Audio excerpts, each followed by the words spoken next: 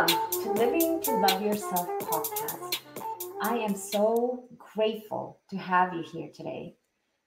I have a special guest, Jennifer Allen, who will be discussing the seriousness of breast implant illness. Jennifer Allen is a registered nurse and women's advocate. Her desire is for women to love themselves more than they love their implants and to know they never needed them in the first place. Her mission is to spread awareness of breast implant illness as many women may not be even aware of this being the cause of their suffering. So, without a further delay, I'd like to have Jennifer Allen on the platform. Hi, Jennifer. How are you? I'm good. How are you? Great. Thank you for being part of the show today. Yes, thank you for having me. You're welcome. So, Jennifer, let's let's just begin and understand if we can get a fair idea what even breast implants are because I want to make sure that the listeners get a basic understanding of why you need them, breast implants, and what are the differences with breast implants? Well, breast implants are a medical prosthesis used to quote unquote enhance a woman's breast. Um, they there are two types. There are silicone and then saline filled, but the one important commonality that they both share is that the shell is made of silicone in both both types. Both types, the saline and the silicone. Yes. Correct. So, jo- Jennifer, you mentioned that the main reason is for breast augmentation, whether it's reconstructive reasons, which is breast cancer or mastectomy, or cosmetic purposes. So, in both of them, we'll go a little further during the show and understand there are quite potential risks associated with either of those purposes. Is that fair? Yes, absolutely. Okay. So, we would like to start with understanding more reasons for considering breast implants from your angle. Why did you choose that? Did you have any health concerns? What was your reason? I I didn't have any actual health concerns. I grew up like a lot of young women women very flat chested, very insecure about my body. Um, constantly being shown through the media that to be beautiful you have to have you know these big beautiful perfect breasts and so I decided at a very young age that I was going to get them. And I did at the age of 24, thinking that, you know, they were going to boost my confidence. Wow. That's so at age 24, you went and had surgery. Can I ask you, did you research on breast implant when you, or did you just go to a physician and you just readily agreed to have breast implants?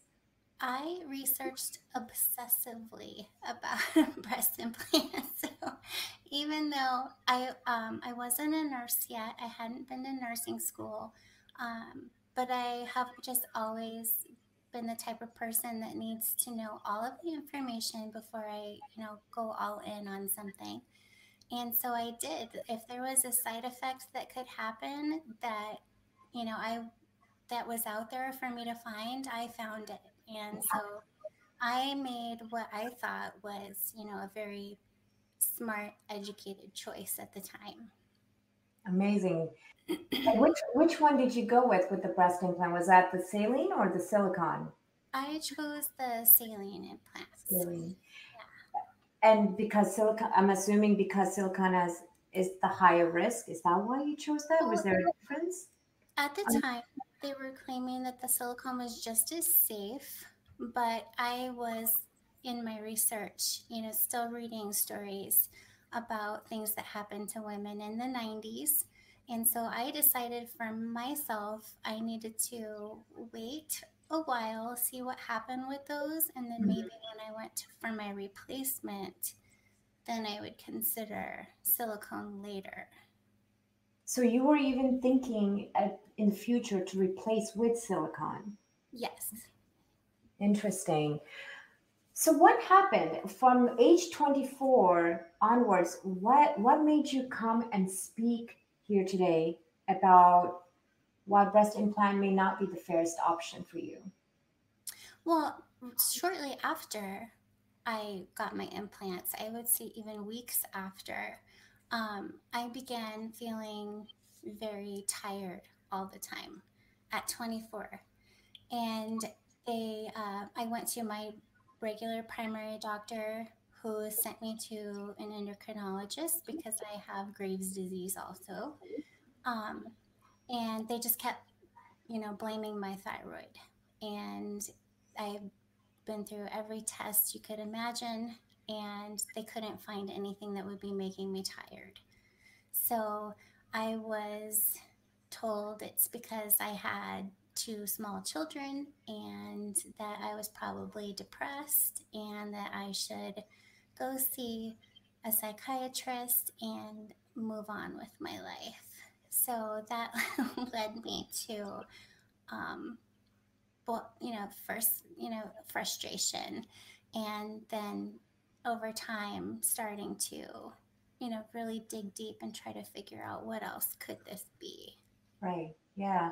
So, what age did you start having these type of symptoms, these illnesses, and you started seeking the doctor? The fatigue happened almost immediately, and it was when I was only 24. So at 24 years old, I was being told by doctors, mm-hmm. you're just aging and you have small children, so of course you're tired. yeah. Oh my. So let me ask you you did research on these, the potential risks. And I'm assuming at that time, the doctors also addressed the potential risks that is associated with breast implant. Yes. I was told only like cosmetic or surgical related complications that could happen. Oh. Right. Which is what? What for the listeners? What are those kind of complications that you were told? So, surgical complications would be infection, um, poor healing, or necrosis, which is where the tissue actually starts to die.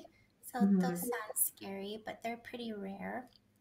And then capsular contracture, which is a condition where your body does not want those implants in there and it create it creates a shell, a protective shell around the implants, and it becomes very hard and very painful and can actually cause the breasts to become misshapen and even right. like asymmetrical.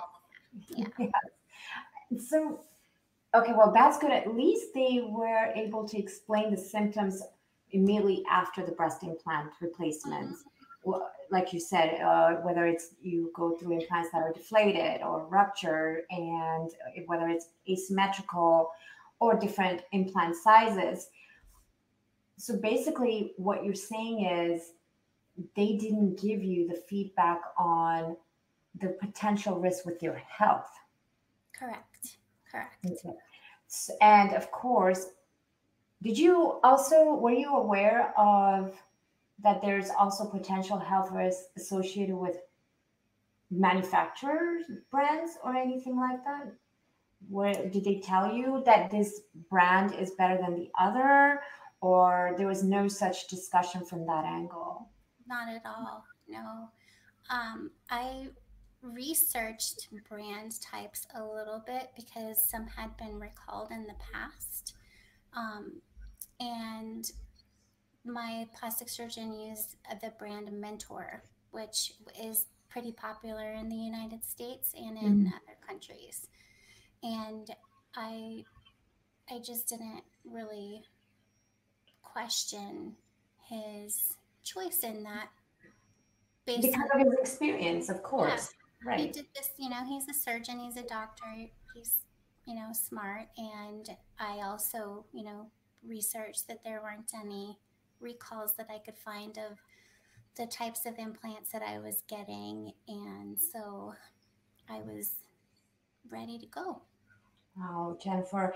What shocks me right now is that most times that during the after the breast implants, it takes about about you have a time lapse of when the symptoms do occur. And when you said that you started feeling tired, fatigue immediately, mm-hmm. that just tells you that your body was not reacting properly from your implants. Right. And you were seeking help, but you were not getting the feedback you were looking for. Right. So what else did you do? I I researched I like my thyroid disease. Um, I researched other autoimmune diseases because once you have one, you're more susceptible to others. Right. And so I had tests for every autoimmune disease that they know to test for, and they could never find anything um, other than my inflammation markers would be elevated. So there was obviously inflammation in my body, but no one ever thought to blame the foreign objects in my body. Mm. Mm, that is that is that is something, and I'm I'm sorry that you had to go through this such an early stage, and you're not getting the answers that you're lo- looking for. Just so the viewers understand, this is not a standalone issue for you. It occurs throughout the board, where the studies have indicated that there's one in 2000 and one in 86,000 uh, people who go through these surgery and they depending on the manufacturer brand they may have these potential risks and symptoms that you are discussing discussing what other symptoms are there that you're aware of that the listeners should be considering there is a long list i can tell you that um, after about after my implants were about eight to ten years old i started developing a, a whole bunch of the symptoms on the list. I had strange muscle pains that no one could explain, um, deep bone pain. I was tested for cancer and fibromyalgia, and mm-hmm. Could they could never figure that out. I had at least two to three episodes of pancreatitis unexplained. I don't drink alcohol ever. So that is obviously not the issue. I have Raynaud's phenomenon, which is pretty interesting. Um, whenever I get cold or when I wash my hands, the blood flow disappears from my fingertips and it happens in my toes. This is pretty common with breast implant illness. I would suffer from pretty severe dizziness. Um, I couldn't really help my husband in the yard, like pulling weeds, I would fall over. I had an almost complete loss of libido, and um, which, you know, not only caused me to suffer, but also my poor husband. And goodness, the list is seriously so long. Like I had so many of the symptoms on the list that I have to seriously like sit down and think like, oh yeah, I had that too.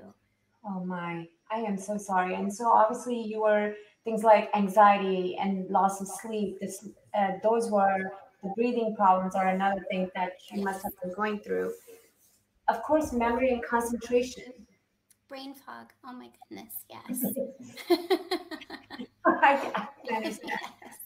And so basically, you are going through all types of neurological, hormonal, and autoimmune deficiencies with breast implant in a nutshell. Yes, they, they cause such an inflammatory response in your body for such a long period of time that it really starts to affect all of the other systems in your body. So it starts with the immune system and then moves on to endocrine and even your GI system. A lot of women suffer from all types of food sensitivities and intolerances, and the, the list goes on. Mm-hmm. On average, where what is the onset of these symptoms? Some women are like me and they experience symptoms almost immediately. Um, and then some of them don't notice anything until eight, ten years. 10 years. Um, some of them as early as four to six years. And the thought behind that is, especially with implants that have not ruptured, Mm. is that that shell is constantly being attacked by the body and is constantly breaking down, therefore leaking all of the ingredients that are in silicone into the body. So it is a slow, steady poisoning silicone and heavy metals and neurotoxins that are, you know, made when they make silicone. Mm. I am so sorry. You know, there was one while we were talking offline, one of the interesting things that you mentioned, which I definitely think you might want to address to the listeners, are how the there's different levels of concerns and potential risks with the from the manufacturer's end and also the communication from what which ones to utilize that are manufa- manufacturer brands as well as what physicians are communicating to you the ones that should work and shouldn't work i don't know if they are knowledgeable from that degree or if it's even communicated from the manufacturer to the physicians So I um the manufacturers and the FDA, the FDA finally did sort of acknowledge breast implant illness. mm-hmm. Um, I think what they had to say about it was a little bit snarky. They talked about um, the fact that some women are complaining, but that research needs to be done.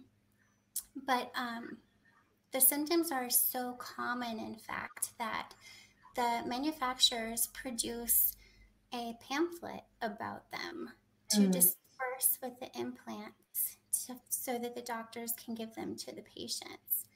But there's no requirement by the FDA for them to do so. As, as a matter of fact, when the surgeons receive the implants, they'll receive, you know, 30, 40, 50 pairs of implants and get five of those pamphlets. so you're just handed and you there's no communication No, no. Wow.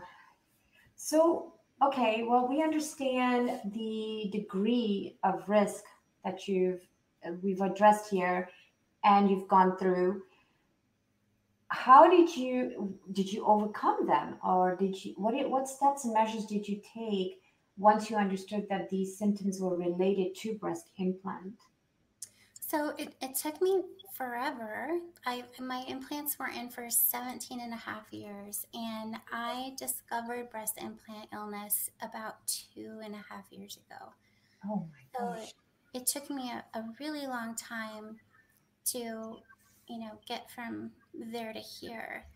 And it was really by accident, I guess, that a friend of mine sent me an article about one of Hugh Hefner's wives having her breast implant uh, breast implants removed due to breast implant illness. And my mind was blown. She, you know, is a, a bombshell model. Her Yeah. career was basically her body. And I was like in shock that this woman was willing to risk her career for, you know, her health, for what she believed to be causing her health issues. Mm-hmm. So that to me said, you know, wow, this, I need to look into this. That is serious. And in my research, came across a plethora of research and different support groups for women who suffer from this. And reading their symptoms was mind blowing. I couldn't believe that other women were experiencing the exact same thing that I had been experiencing. And that they were also told by their doctors, you're just depressed. This is all in your head. We can't find anything wrong with you.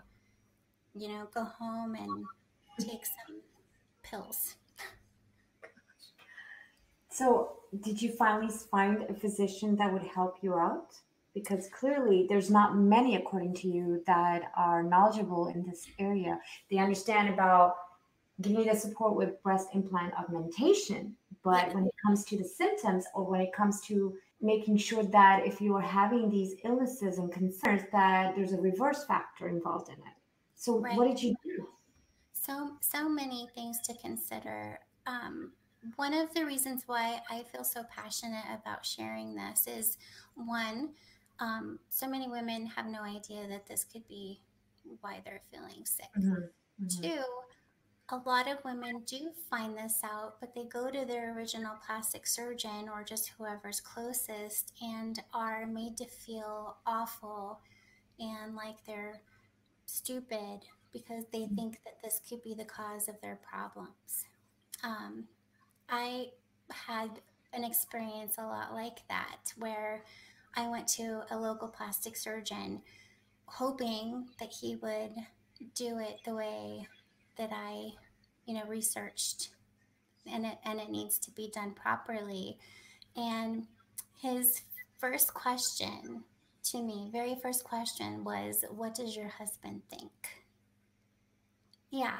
And I was I was shocked. I didn't know what to say at first. And how would you be able to say anything yeah, Um, you know, I'm coming to him because I'm tired. I hurt. I'm dizzy um, I get flu-like symptoms all the time, and he's you know telling me the same thing every other physician has told me, and you know wants to know is my husband going to be sad if I'm flat-chested again? Mm. Yeah, and I I see that in the support groups still all the time that women are talked to like this by their plastic surgeons. Some of whom are even female plastic surgeons. And that was my next question. Yeah. I guess it doesn't matter what type of. It doesn't. Yeah. Yeah. So mm-hmm. I just, I want to make sure that other women know that there are, are good doctors out there who will do this properly and mm-hmm. that they don't have to put themselves through that. Well, thank you for those because that's important for everyone to know. Physicians or doctors, they have the right to their own opinions and feedback, but the main thing is for us to do our own due diligence and understand our own intuition of what's going on with ourselves. Right. And I'm so proud of the fact that you were able to find ways to get yourself the help. Was there anyone who was lucky enough to give you that support? Um, I follow a Facebook group that is a huge support that grows by about 250 women a day. And um, through that group have become friends with a lot of women who suffer with the same illness. Mm-hmm. And it also helped me find out that I had friends already that I knew that we're suffering with this. They just wouldn't say anything? Yeah, we just don't talk about oh. our oh. boobs. So not this so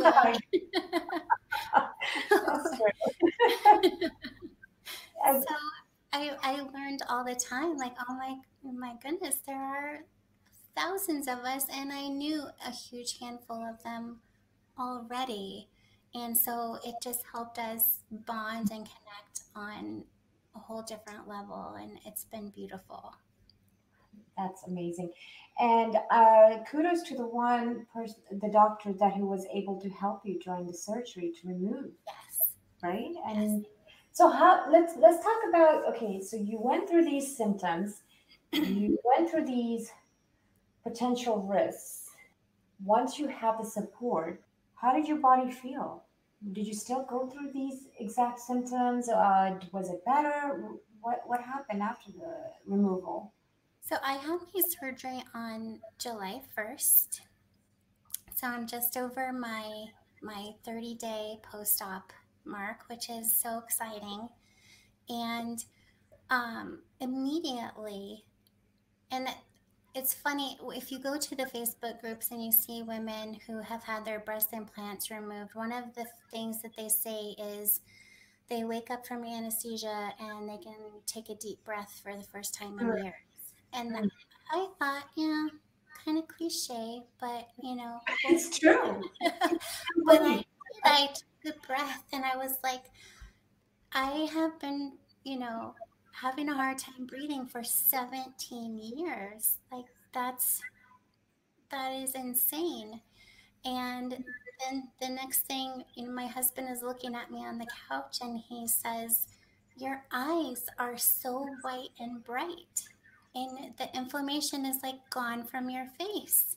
And I was like, I couldn't, it was so relieving and validating that through all of this, all of these, you know, still lots of naysayers and a lot of my physicians thinking, you know, telling me, go ahead and remove them, but it's probably not going to help you. And immediately I started feeling better. So no more neck and shoulder pain already. Yes. Yay! Um, couple of bad detox days I've had, but they seem to be spreading out further and further apart from each other. So I have already had a lot of relief and I'm excited. It's a great feeling for you to actually breathe and feel better. And I'm so proud of you. And we would definitely like to follow your journey of understanding where it's taking you. Yes, absolutely. I and through wow, just recently you went through this procedure. I you know, you're you're an inspiration for sure. So I noticed a study uh, I read somewhere on um, it was published in Harvard Health Online, Harvard's Women's Health Watch, that mentions what you're saying about the FDA recommends that there are potential risks of procedure with, with your doctor. And, and these risks are tremendous. And that's why it concerns me that there has been studies, there have been warning signs. So why are we not taking these procedures more seriously? that's the biggest concern and confusion I have around this. Right. Well, breast implants are breast augmentation is the second most popular plastic surgery in the world right now. Right. so huge money maker. Huge. Exactly. Mm-hmm. So of course we don't, you know, people don't want to lose out on that money making opportunity. So that's where you see a lot of this research not getting out to the public mm-hmm. like it should be, and um, even sort of being swept under the rug in a lot of cases. You're absolutely right. It's all due to making money, and that's why we're not as vocal and not as concerning about the human health. And I think we need to do more of addressing these health concerns. What, what can we do to bring more further awareness, I guess? Right. Well, the breast implant illness groups are amazing because they bring to light the mm-hmm. Just the realities of breast implant illness. So symptoms, doctors that you can go to that will actually listen to you. They have lists for women. Um, you can find a doctor close to your area, worldwide even. So this mm-hmm. is obviously not an issue just for women in the U.S. And um, they're a great uh, support system for women who are going through this for lots of reasons. They feel awful. Their families sometimes are also some of the people that are telling them that they're crazy and that there's no way their breast implants are doing this to them. Their doctors aren't listening to them.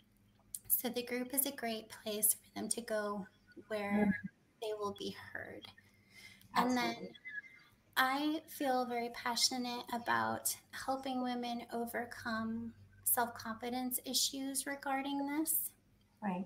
Whether it's before breast implants, they maybe they feel like they need them for some reason or they have them and they're really really afraid to get rid of the implants because they're afraid of how they'll look or whether or not their spouse will still be attracted to them or in whatever confidence issues you could think of that surround how a woman looks.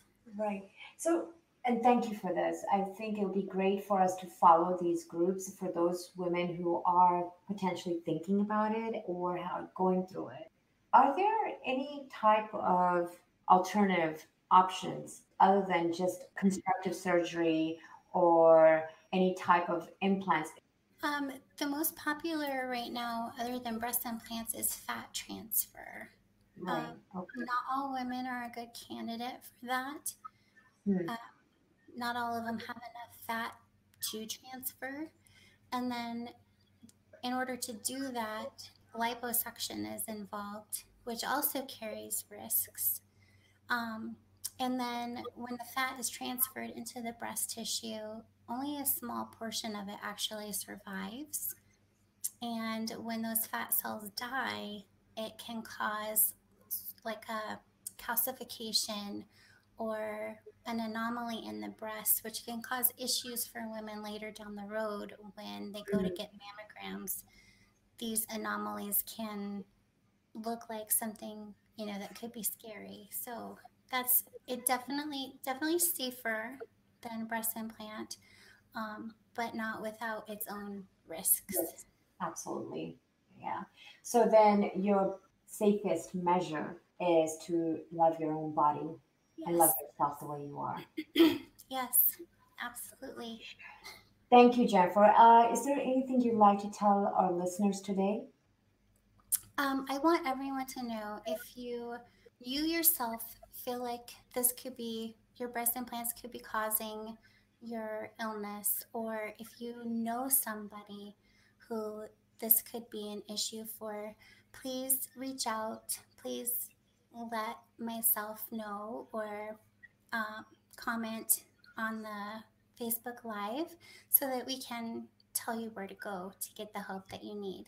I want everybody to know that you're perfect just the way you are, and you don't need to butcher your body to make yourself look like society says you should look. So be kind to yourself, take care of yourself, and love yourself. Thank you. Thank you for this.